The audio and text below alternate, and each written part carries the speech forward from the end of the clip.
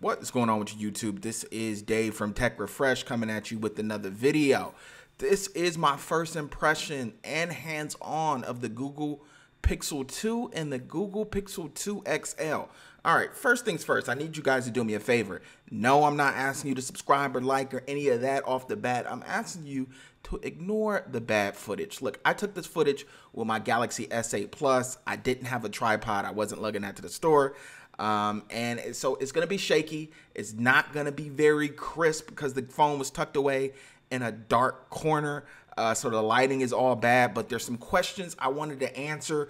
I've been looking at videos on the internet and I've been seeing questions in the comments. So I saw some intriguing questions and I said, let me go check this phone out and see if I can answer some of these questions. First off, let's talk about build quality. And the one question I've been seeing are about the bezels. Are the bezels too big? Well, throw the Pixel uh, 2 out of the window. We know it has big bezels. That's not the phone that most people are interested in. Let's talk about the XL2. Are the bezels too big? I'm coming from a Galaxy S8 Plus that has very minimal bezels. I, I played with this phone for approximately 30 minutes. The store was closing, so I had to do everything pretty fast. But the bezels in no way were too big. Um, I didn't notice them. It didn't feel that much different than the S8 Plus, to be honest. And to be completely honest, I'm coming from before that a Galaxy S7 Edge, which has way bigger bezels than this, and I didn't have a problem. Thought that was a great phone. The build quality, as far as the screen and the bezel to screen ratio, is very, very good. You can see in this footage, I do not understand what people are talking about about the bezels being too big. Now, one thing that I read several comments about, and these are from people who've gone to Verizon stores and tested out the phone, and I thought they were just, I really didn't know what to make out of what they were saying, but people were saying that this phone doesn't feel like it's metal, feels like it's plastic. Now, we know Google got on in the keynote and said it's metal, so we know it's metal. They're not lying about that.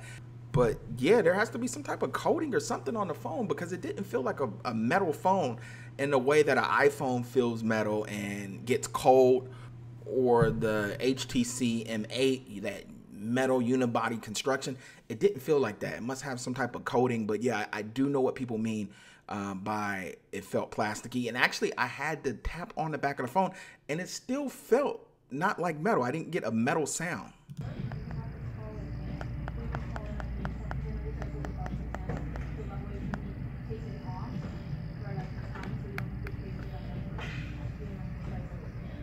Another thing with build quality is the power button. I haven't really heard anybody talk about this in their video, but seems that we're getting two different power buttons. On the all black XL, um, Pixel XL2, the power button felt like it was metal.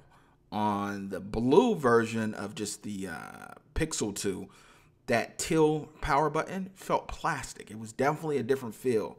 Uh, and I think it is plastic. So I'm assuming that the orange one on uh, the Panda uh, XL2 is going to be plastic, but they did not have the uh, black and white version at the store. One more thing with the build quality, the camera bump is pretty pronounced compared to last year's version of the Pixel. I really liked the Pixel last year, the camera on the back. It was just clean and smooth. This one does have a ring around it uh, that does protrude out. I wish uh, it, it didn't have a camera hump, but it does. Let's talk about the screen. This is something I've read in the comments of pretty much every video of people who have actually uh, tested the Pixel uh, 2 or the Pixel XL 2. People talk about a blue tint with the whites on the phone. And um, to be honest, I didn't know that. And I was actually looking for it. Went to the messaging app. That was like the screen that I could, you know, find where it's pretty much all white and I did not see a blue tint. You can't see a blue tint um, in the video. I know it's a bad video. Uh, you know, got to remind me, but there's no blue tint. I could not find a blue blue tint with the whites on this phone, but a lot of people are reporting that. So maybe it's something in the settings or something. But hopefully, this phone does not sh um, ship with the whites having a blue tint. Another question people are having, these are the little things that the bigger tech channels are not going to answer uh, when you watch media like YouTube, does it fill the screen on the XL2? Can you punch the video in? The answer is no. Uh, at least I couldn't figure out a way to do it. Hopefully, um, they'll be able to patch that in somehow if you don't have the ability to do it. But no, you get the two black bars on either side. Uh, there's no ability like the S8 Plus where you can punch it in and it kind of crops the photo, but it takes the whole screen. That did not have that option on YouTube. Um, and that's something I definitely want to see in the Pixel 2. A lot of people want to know about the speaker quality. I tested both speakers. I played a video on uh, both phones.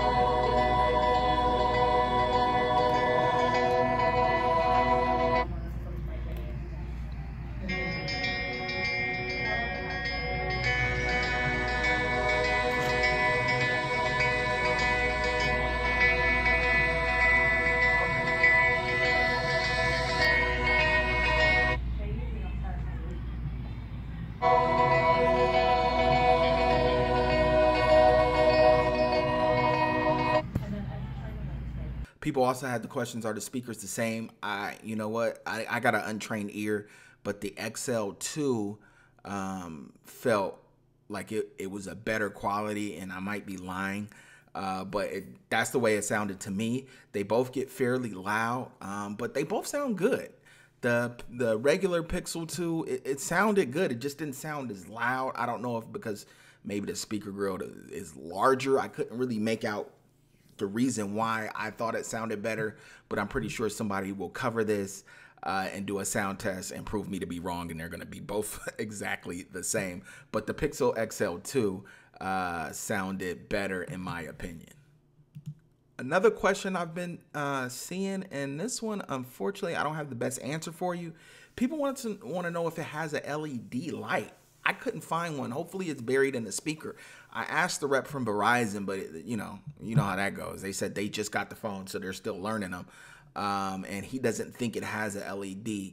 I personally think it does. I think I, I think I've seen enough evidence that it does have one, but I cannot confirm it. I couldn't download any um, any app that could show the LED because you got to log in on, in the Play Store, and I'm not about to do that in a Verizon store.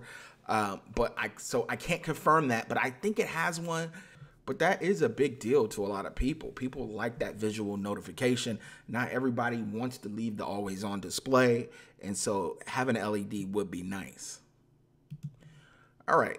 I think that's kind of all the questions that I was able to answer in the little 30 minutes I had. There's more questions, and maybe I'll go spend more time with it, or maybe it'll be at my house soon.